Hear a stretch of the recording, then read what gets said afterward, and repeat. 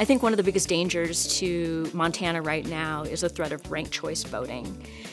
On the surface, it sounds kind of innocent that it would maybe be a good idea, but we already have basically open primaries. So, for instance, if you're a Democrat, you could actually vote on the Republican primary ballot and vice versa. So, that's not really an issue there. But ranked choice voting, in case you don't know, what it does is it makes you vote for someone who you otherwise wouldn't want to vote for. And if you don't vote correctly on your ballot, it throws your whole ballot out. So then your vote is lost entirely.